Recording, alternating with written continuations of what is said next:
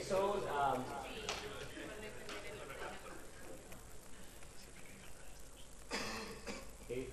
Thanks for the patience, uh, for, for being the first session of the of the seminars. It's not going so bad. I think that, that at least like we can transmit things and so on and so forth.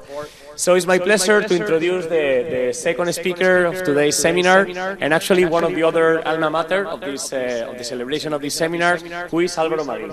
So Alvaro is a physicist from the University of Sevilla. Later, he did a PhD in fluid mechanics in, in the same university. He went for a postdoc at Twente, uh, where he stayed for three years, right? Twente. Well, uh, I don't know how to pronounce uh, Dutch or, or, German, so that's why I'm saying now that he's now at this university in Germany, in Munich. Uh, I, don't know, I don't know how to pronounce either, but uh, that's the university. And you have been there for about one year, right? Almost two years, right? So, and, well, so he's going to talk about the evaporation and suspension of, uh, of droplets. Okay. So, Alvaro, please. Thanks. Well, thanks a lot, Javi. Really an honor to be here. Um, so yes, as, as I said, I didn't study here in Madrid. Um, actually, I'm, I'm, I'm, kind of new here.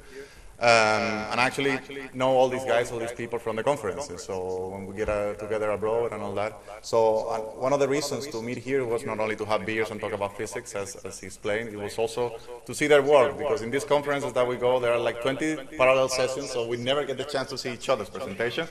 So one idea was to get together at least here in Madrid, and then and then so that share all these uh, different things that we do. And I think it's a very nice idea for the seminar because I think we cover really, really many, many aspects of fluid mechanics. Uh, so we have from, from beer physics to atmospheric physics, uh, coffee physics that I'm going to tell you about now, and many other things. So what I'm going to tell you about is the stuff that I've been doing for the last years. Is, is, is not anymore my main topic, but I'm still involved in this.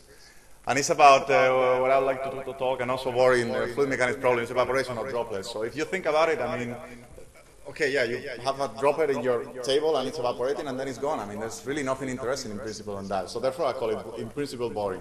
And this is what many people thought until, until a group of people in Chicago started to study this. So this is a coffee stain, what we call a coffee stain. It's just uh, when you leave a drop of, of a suspension like coffee in your, in the, in your table, it evaporates, and then when you look again at it, it doesn't have, so you don't see an homogeneous stain, but you see only like color in the sides of the of the of the stain. No? So this is what they call a ring-shaped stain, a coffee stain.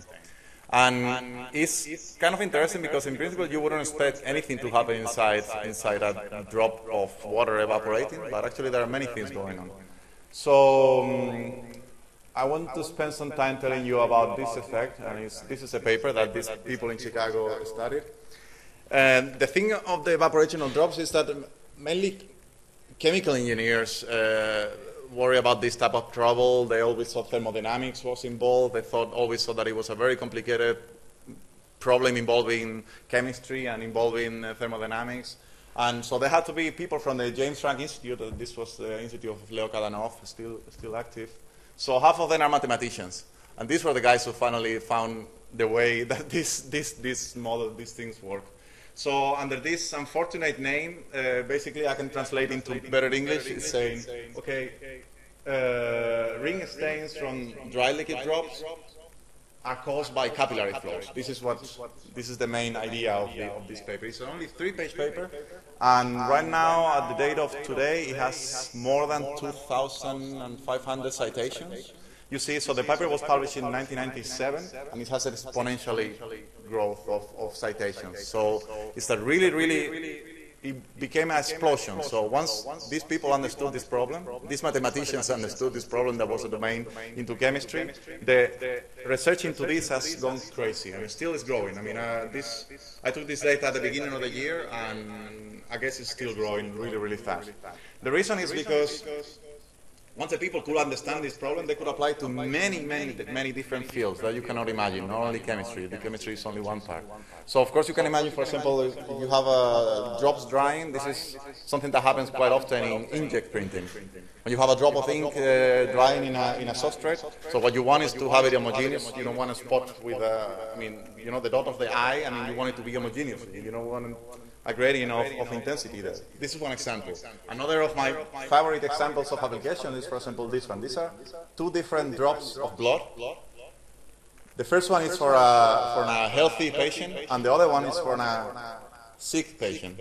So this is another interesting example. Just analyzing what type of patterns do you get into this type of suspensions, you can actually predict, and you could, in principle, the idea is that you could actually tell which disease has this patient only looking at the at the stain of the of, of the drop. No? It's a very interesting idea. And of course, you have a lot of. If we're talking about suspensions. Um, you can actually make colloidal crystals, for example, as, as, as you see there.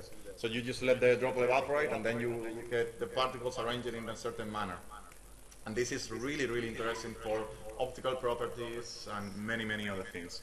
So the interesting thing is that these guys took just a sample of their daily life, explaining well, and then this cross explosion in the in the in the field of fluid mechanics. And other, because I mean, uh, Langmuir, for example, is a classical journal for chemical engineers, for example. No?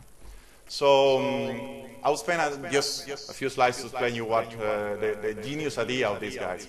In principle, the idea is what the, these guys started saying, okay, let's start from the most simple idea that we can think of uh, this problem. No? So let's forget about thermodynamics. Everything is a thermal equilibrium. You have a fluid, uh, a volume of fluid, which is evaporating in a, in a medium. There is no flow, everything is quasi-static, nothing special, okay? So it's a really simple idea in, in principle. So if the droplet is evaporating normally, it would do something like this, no? It starts big and then becomes small, and that's it. And then there is an important part of this droplet, which is the contact of the liquid with the solid. This is what we call the contact line. And this is really, really important part in all this I'm going to tell you. If the surface is perfectly uh, flat and, and, and there's nothing there in the, there, just the contact line will just move, you know, I mean, the, droplet will just move, and then we will become smaller and smaller, and nothing will happen. And then the contact line will move, like you see it here in this arrow, and, and then there will be no coffee stain in this case. What they found out, one of the things they found out is that actually, um, because you have particles accumulating there, right there at the contact line, uh, they say that the contact line is pinned, they say. So the contact line cannot move, actually. So then the evaporation doesn't occur like in a spherical way, let's say. Well, the surface of the drop is always spherical, so it has a minimum surface always. It occurs in that other way, which is a bit more peculiar, actually, no? And then the idea was, okay, if this evaporates like that, and you want to maintain um, like the minimum surface, because I mean you have surface tension that is that is trying to keep your, your, your surface minimum. If you want to do that, then the only way to do that is to send liquid towards the contact line so that you can keep the shape. And therefore they call it capillary flow because actually it's surface tension, which is just in order to keep the shape of the, of the droplet, is, seeing, is sending fluid there so that you can keep the shape. So this was the, the, the initial idea and the first mechanism that they, that they thought. And then it, there's much more, much more into this. So in principle, you can think of the problem just as, I said, no, no temperature involved. Everything is a uh, uh, thermal equilibrium. And then the only idea is that you have uh, your Doppler here, and then you have uh, like saturated vapor close to the surface, and then unsaturated vapor really far away in the infinity. Okay, so it's just a purely diffusive equation, a purely diffusive problem, nothing else than that. So in principle, it's really, really simple. So you just have the concentration of vapor, C, and then you have the evaporation rate, J, that will go from the surface, from the surface of the droplet into infinity. As simple as that. So the genius idea of them is that that's the only things that you need to describe the whole problem, actually. Of course, once you get into it, it gets complicated. I will tell you how. So one way the, to think about it also, and it's really interesting, is to think this uh, to think about this as an electrical problem actually. So if you think of C not as a, a concentration of vapor, but as a voltage, and then J will become then the, the electrical field. Then you have, I mean, we're all, I think, spend more time in, in electromagnetism than in, than in this type of other problems, so it's easier to think about it. And then the droplet will be a conductor, Okay? okay. But then there's a tricky part in this, if, if you think about this. If you have this, just if you want to solve it like an electrical problem, you will have to do the mirror image also to have symmetry. So, and then you will have here uh, a point in which you have a corner there. And you know what happens in a corner in a conductor under an electrical field? Yes, I mean, that's why I love you, man.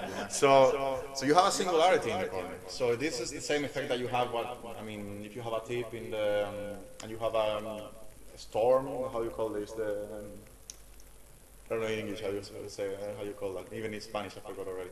So I mean, you have a point, a metallic point, and then you always have discharges, electrical discharges there. And this happens because you have a singularity in the electrical field there. The voltage is constant. You don't have a singularity in the voltage, but you have a, a, a singular electrical field there.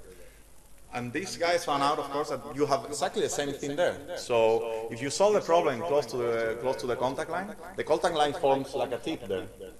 Okay, so then actually the droplet is not evaporating homogeneously all over the surface. So you have a minimum evaporation at the center of the drop and a singularity in the evaporation rate at the contact line, which is at the same time also dragging fluid from there. So it's a really interesting idea that, that kind of was, uh, I don't know, no one took much care of it. So then could, they, they could calculate really, really easily, solving this just this elegant equation for the for the evaporation rate. And then you see perfectly, uh, this takes uh, lambda takes negative values for most of the cases, and then you have a singularity in J when you get to the to when minus r comes to uh, capital R. And the interesting thing is that this is actually really, really general. So this type of singularities, not only you have them in electromagnetism, you have it in evaporating drops, and you have them also if you're baking potatoes in your oven, for example. So you have a, you put just a potato there, and then you will see always that the corners of the of the potato that you cut become much more brown, or they become toasted much much faster. And this is just again a matter of faster evaporation at the at these corners. This is a beautiful paper of Bocquet in uh, American Journal of Physics describing this, this effect and solving this problem in, in two dimensions, let's say, in this case. Beautiful paper. Um, but not only that, so I talk about evaporation. Well, you can treat it as, as a diffusive problem, as I told you. But if you think about it, if you, now you invert the, the physics and you have condensation, in principle this will work the same. I mean, so if you have condensation towards the tip, uh, then you will have a preferential condensation into this part. And this is actually also something that we did also for fun with people in Twente, with pointed droplets that I will explain how they are formed. But the idea is that you have a super cool tip, and then some uh, temperature is like minus 20 in the in the tip, and then you start to grow a Christmas tree directly, preferentially from the tip. So you have ice condensation preferentially from the tip. So this is like the inverted case of what we're seeing here, evaporation. So you have evapor evaporation in both these cases, and also condensation preferentially in the tip also. So it's, I mean, I find it fascinating that you have this simple idea that is actually applying to electromagnetism, evaporation, condensation, and many, many other cases that you could that you could think of. No? So this was the, the, the, idea that they had. Therefore, they got so many so many interest in this problem. And I actually bumped into this problem just playing one day in the lab, uh, as many other things, and just looking at this. Uh, casually. So the, the, experiment that I did was really simple. So you have a, again a droplet of water with some particles on it, and then we look I look from the microscope below simultaneously as I see from the side. So maybe you don't have much contrast. There are droplets here. You see them here, and they're already starting to form what we call the the, the, the stain there. No, you see there. And then I just did some some easy PIV measurements on the uh, particles. They are Right now you only see the Brownian motion. We're looking more or less at this area there. And then I'm plotting here the radial component of the velocity here in this in this plot. So you don't see here clearly, but this is zero here. You see they're almost really not moving towards the contact line. And this puzzled me a bit at the beginning because I said, okay, I mean, I, mean, I was there waiting for 20 minutes, waiting to see the famous coffee stain effect. Although you see particles here, but I mean, they're moving really slow. And only at the end of the process, when the droplet is already almost not a drop anymore, but basically merely a film, then, the particles started to move like crazy. You can see that clearly and also in the measurements. So it was like an explosion right at the end. Therefore, we call it the rush hour effect because it seems that, that all the particles just move. Just wait until that time, the moment that the, there will be no droplets anymore, just to go there. As when you go to the theater, no, and then, I mean, if you go half an hour early, you will find a spot to park your car. But if you go five minutes, uh, is when everybody wants to come, especially I guess in Spain. So this was really weird. Uh, in principle, we didn't, I didn't understand, we didn't understand as well.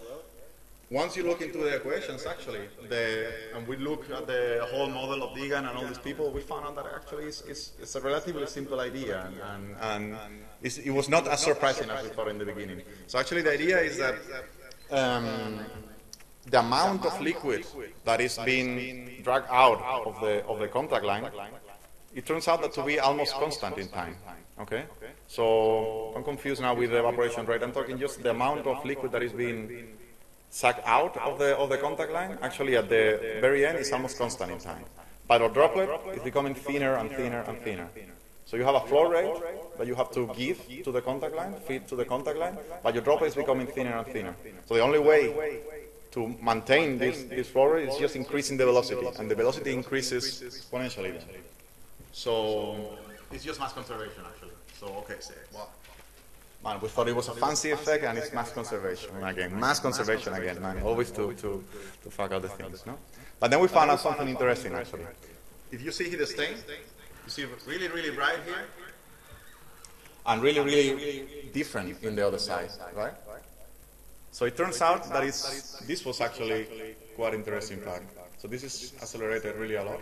So the, what happens there is that at the beginning, the particles are really going so, so slow. Are, they have time to find a nice parking slot, you know, and then very order, you know, first line, second line, third line. And then those coming at the very end, they just leave the car, you know, wherever they find. You know? So completely randomly. And this, surprisingly, it's a really, really sharp transition, which was, this was something really, really surprising, which we didn't expect. So here you can see it better. So you see here, you have really, really order. You actually have different crystalline order phases, but we will come to that later. And then suddenly, bam, there is a break. Maybe here you still see some crystalline phases, but it's not, maybe not the best case. But I mean, it was just a case where you can see it clearly. It's much more sharp in, in, in other experiments, actually. But the thing is that then we can take the videos, even from the, from the measurements, find at which moment we don't see this, this order array anymore, and then calculate actually the critical velocity that, that is needed to, to create this random phase, okay? Then the idea behind this, I mean, uh, it's actually really simple to explain. I mean, we thought we follow the same approach as usual, no? Okay, let's go to the simplest thing that we can think of to explain this, this phenomenon, okay? So the particles are actually uh, having some Brownian motion, okay? So they are kind of diffusing, the, they have a, their own diffusion themselves, no?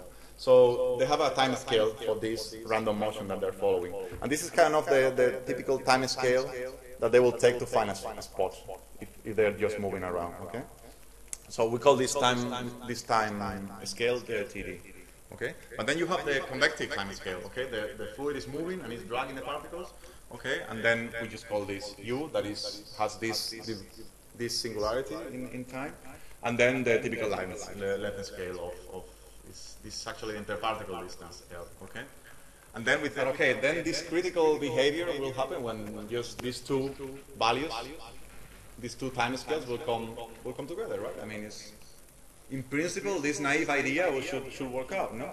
So then if you plot uh, the velocity, the critical velocity that you will get if you equate these two time scales, and then the measure uh, one, you get a one by one relationship really nicely for uh, like uh, this was like three types of particles going ranging from 0.1 micron, 1 micron, 2 microns, and 5 microns. So let's say in the range in which you have, and you can have um, these two time scales get together. Of course, if you go to really small particles, the Brownian motion will be too strong, and then they will even don't care about the, the velocities that you are. So in this range, this it, these are the range where you will see this transition, and it, this naive idea turned out to work perfectly to, to explain this phenomenon.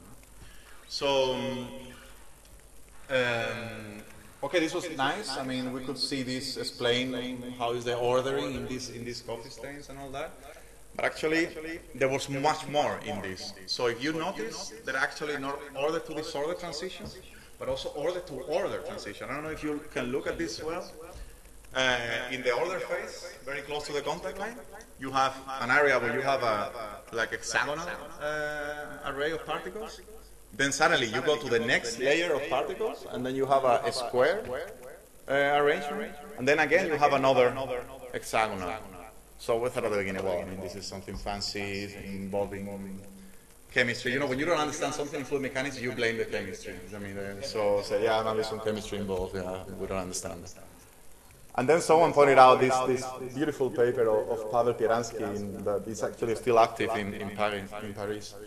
Um, this guy made the, the, following experiment. It was really beautiful. So he took a wedge. Okay, he took two. I have nothing to do with evaporation or anything like that. Okay, so forget about this. Pavel Pieranski, 80s, Paris, okay? Um, he took a wedge, like a, something making a corner, and then he put really big particles, like one millimeter particles there. No? So he was a bit of obsessed with uh, how those particles um, um, pack in confinement. Okay, so he put like a wedge, a corner there. He put a lot of particles and then check it. Okay, and then see how the particles arrange there. And he found a really, really beautiful thing is that for really low angles, when you have a high confinement, these one millimeter metallic walls. uh, in the first layer that they have a space, so you have space to have one layer of particles, they arrange the best way to pack particles in this sense is hexagonal packing, right? So it's the best way to have them, no? So you have a first layer with this. Then the wedge increases size, so they have a bit more space. Uh, but still they don't have a space to get a second hexagonal layer. Okay? But what he found out is that actually particles can, you can have a second layer of particles if you pack them in a, like a square array, actually. So actually you can do the experiment, I didn't bring uh, ping pong balls, but you can do the experiment with ping pong balls, and you find out that in a square array, maybe in the, in the let's say in the XY uh, dimension, they are not packed so very well, but in the vertical direction, they actually occupy less, less height. So then, in this second layer, where, where they still don't have a space to pack hexagonally, they can do it with a square array. And then, once you go a bit farther away, then you have more space, and then you can have, a, again, the hexagonal, the hexagonal. And then we see here uh, like two transitions, but in his case, I mean, he saw like six type of transitions. So from hexagonal to a square to, uh, to hexagonal again, square again, and so on. Like six or seven transitions. This, this was a series of papers that he wrote really, really beautifully, and with a sim really simple model, just calculating the volume that, that the particles uh, occupy, you can you can describe this perfectly. And it's really beautiful that I mean, it was never seen with colloids, and actually, you know, I mean it's really nice to see that this one micron colloid with polymer and, and, and some fancy cover at the end behave the same as one millimeter balls. No? So this is really this was really nice to see. Okay, so this was nice. Uh, this is nice. Work with coffee stains. It's a fairly simple experiment. But actually, what people want is to not to have them. I mean, as I mentioned, for example, if you have inkjet printing, I mean, what you want is to avoid this. This. I mean, you want the the stain to be homogeneously distributed, so you have an homogeneous uh, ink, for example, in the, the dot of the eye. No? So this was actually with people, with a group of, of um, also other people in Twente that um, Frieder Mugele. Well, they do some something called electrowetting, which is basically just you have a droplet and then you apply some voltage and then the, you get the droplet crazy. Okay? So whenever you go to a seminar and, and, and they see what you're doing, the, their question is, what if you apply an electric field to that? No? So this is the, question. They always they always have this, these questions at the seminars. No? And actually they came to me and asked me this question, what if you apply an electric field to an evaporating drop? So I just could only guess, but I guess, okay, what you will have is just that your contact line will move, right? So if you remember, one of the conditions that I told you to have this coffee stain is that the contact line must be thin. I told you at the beginning, right?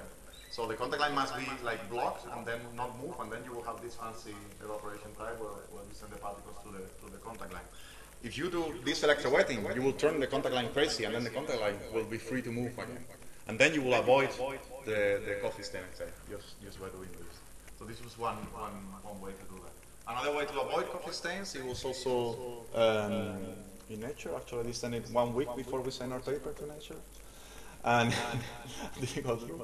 Uh, they found a way also to avoid it. It's just uh, playing with the, with the shape of the particles that you're putting in your, into your suspension. It's a bit more complicated to explain, but basically the particles are solved at the surface, and then they avoid the staying like that. A bit more, a bit more sophisticated, not so, not so fancy for my taste.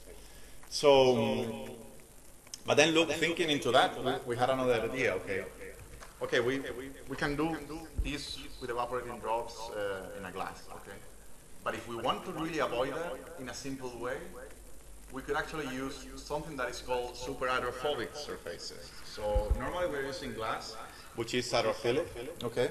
And then uh, when a gas is hydrophilic, then it wets, you have a low contact angle, and, and then the contact line pins easily and all that. In a super hydrophobic substrate, your droplet is like almost as if it's floating in the air, okay? Because the contact with the solid is, is really, is, does almost no contact with the solid.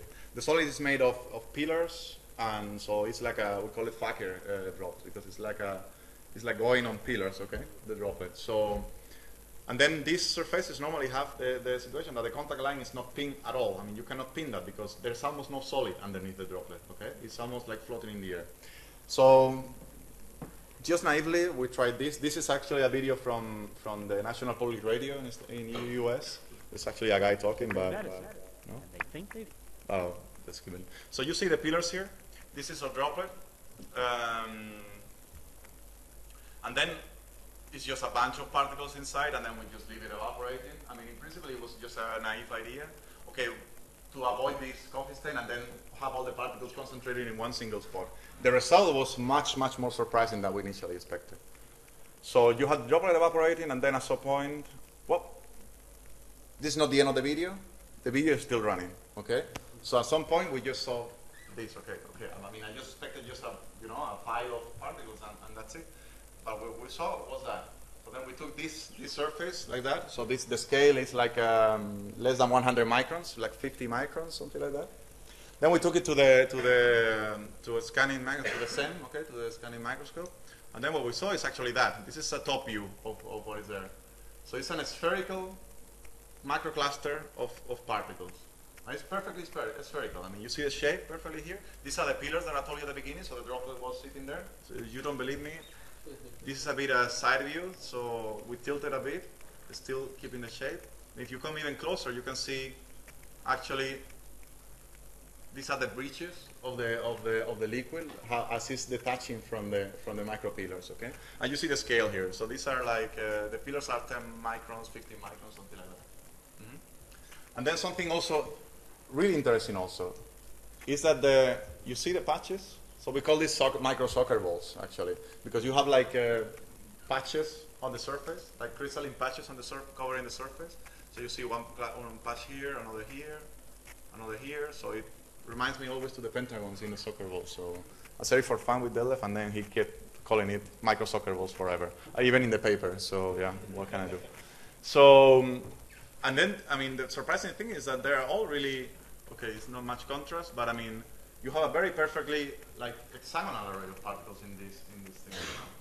And then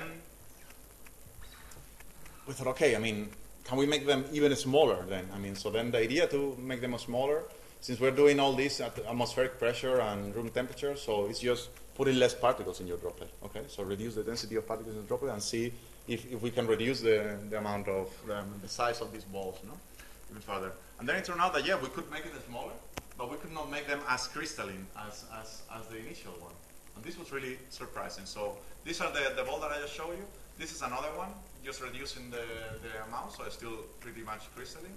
But then the smaller ones, you see here the surface, is, is, it looks completely random, no? I mean, the particles don't show any, any order whatsoever. And we're a bit puzzled about that. So I, I, I will tell you a bit more conclusion uh, about this. I mean, why the crystallization of the, of the particles depends on the amount of particles that you put in, which doesn't make sense to me in principle at all, no? So if you plot the, so I just measure the, with the microscope, the, the size of the ball uh, relative to the particle size, and all the dots follow more or less what we expect, no? So the, it's a relationship like uh, one to the third, okay? So the cubic square root, no? Because it's, it's the occupier volume, so you have the volume. And then the red line here is what you would expect if the particles were always packed perfectly, meaning the maximum packing size that, that, that they could have. And what is that? This is actually a really, really, really old problem that even already uh, Napoleon already has solved already to pack his cannonballs. Okay, so this is a problem that uh, actually there is a bit. Um, so what is the best way to pack particles? We all know nowadays that it's hexagonal packing. Okay, but in those days it was Kepler actually who, who, who made the calculation and found out that the best way to pack this is that one. And then in, if we um, we have a way to measure that, it's called the packing fraction. Okay, so it's the if you have a volume uh, volume V, okay? And then you start to put particles in, and then you can calculate the volume occupied by the particles. And the ratio of this, of the volume occupied by the particles, by the total volume that you have, is the packing fraction. It's how efficiently you are putting particles there. So if the particles were, or if you have a, a, cube, a cube, and your particles are cubical, you will, you could get a one packing fraction. But if you have a, another random volume, and then you start to put spherical particles, you will get another another value, whatever, whatever. No? So it's been demonstrated that for spherical particles, no matter the, the, the volume that you have, the best, the maximum packing fraction that you can achieve is 74%.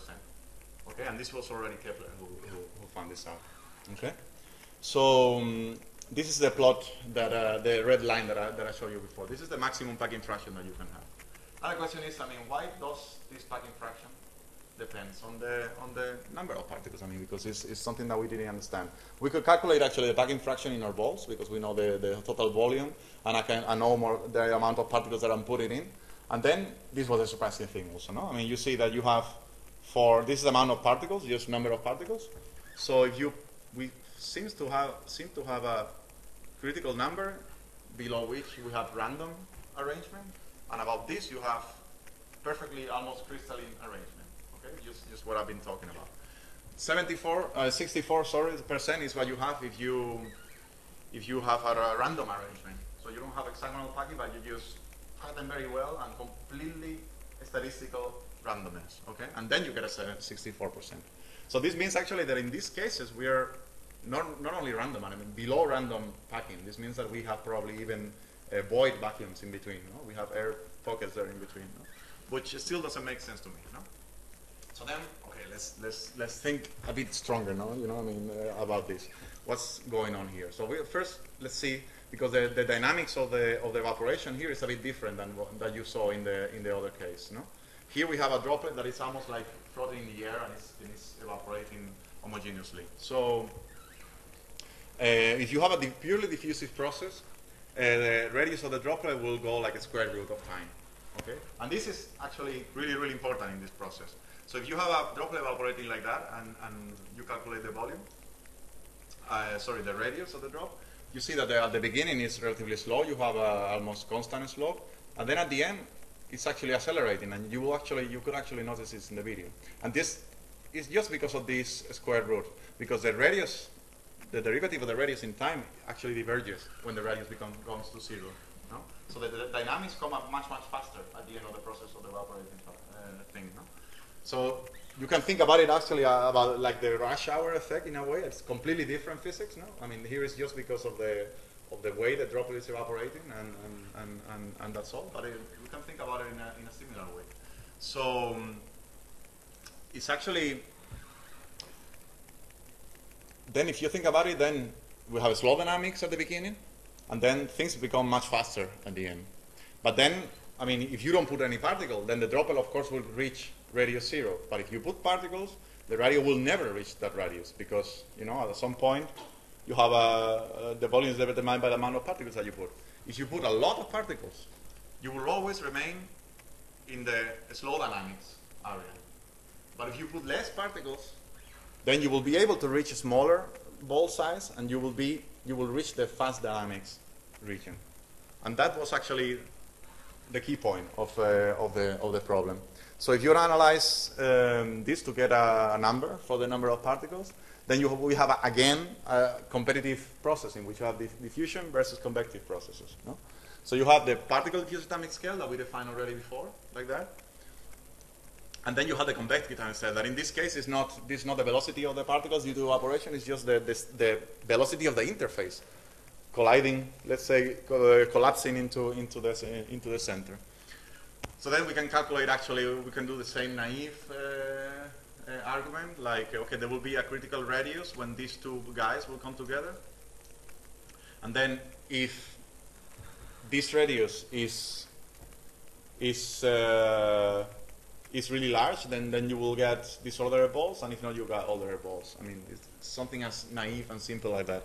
And then from this, we can relatively easily calculate then a critical number of particles, which interestingly enough, I mean, it's not a universal number. Of course, I mean, we're evaporating at room temperature, uh, atmospheric pressure, so the speed is normally always the same, regardless the the size of the of the balls and everything.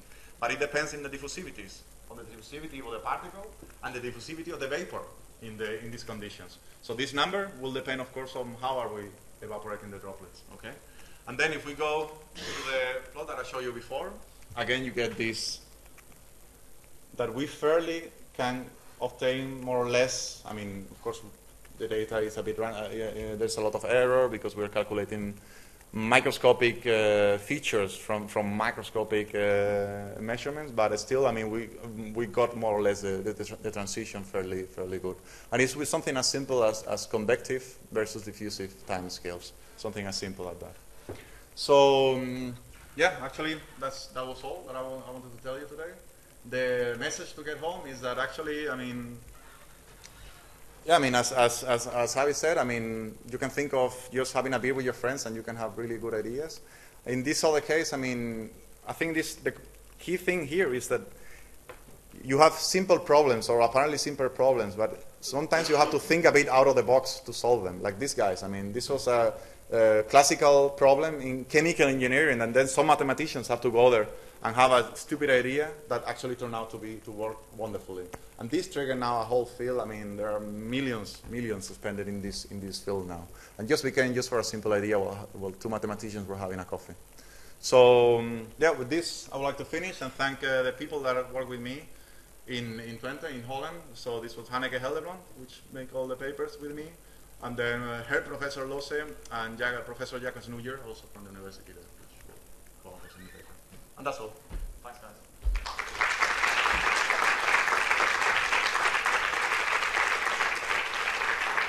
So, okay, thank you very much, Alvaro. Uh, questions?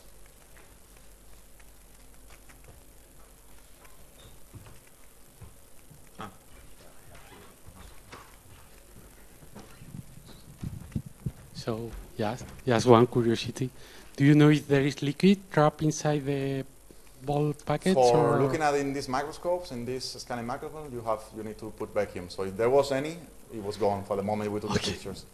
Yeah, I mean I still have them. I mean with me, and it's been now two years we made those experiments, so they're still there. Yeah. Uh, and another question: What is the biggest size of these balls that you can reach? The, of the total ball? The, so yeah, I the mean, total yeah, ball. you can make them as, as big as you want. Uh, as if you put keep increasing the number of particles, it will keep growing. Then maybe you will lose the, the spherical shape, Mm.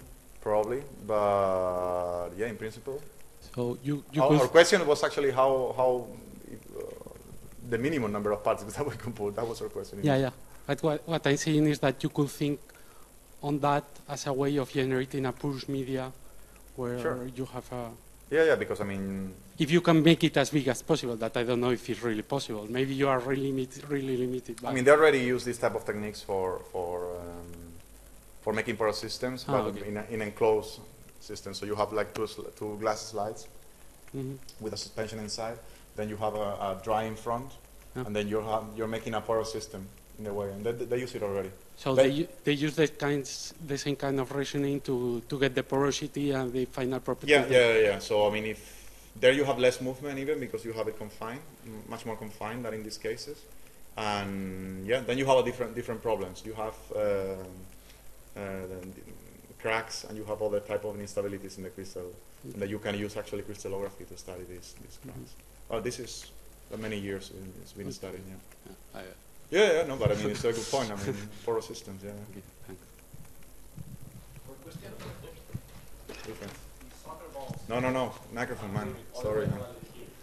You're online, man. The world, the world is watching you, so better be a good question. Okay. No, so uh, simply the, the you call them soccer balls because they look like soccer balls. Yeah. Um, uh, when they are ordered, no, when they have exceptional order, Yeah. why, why, where does this pattern come from? Actually, this bigger Yeah. pattern. I didn't have time. So the idea is that, um, well, this was my guess, but it turned out, I think it turned out good. No? Okay, maybe you can see here, but I tell you. It's basically the idea is that um, you have particles being absorbed, I mean, like absorbed more or less at the surface sometimes, you know? And then they want to become crystalline. And they want to make a crystalline and a crystal, a proper crystal is flat, okay? It's not a spherical. If you have a spherical one, then it's really difficult to get more layers of, of particles over there, no? So they want to become flat. But then you have the problem that the droplet is not flat, okay? It has a curved surface. So at some point, this crystalline patch has to break and create another patch, okay? So depending on the, on the size of the ball, you will have patches of different typical size. And then if you just do some easy similar uh, trigonometry calculation, you can actually get the typical size of these patches, which is about 50 microns in this case, and it pretty much goes with the scale of, of the patches that we see. And I think it's, this is the, the, the answer for that. yeah. Nice. Thanks. Questions? Okay, so let's uh, thank the, the speaker again.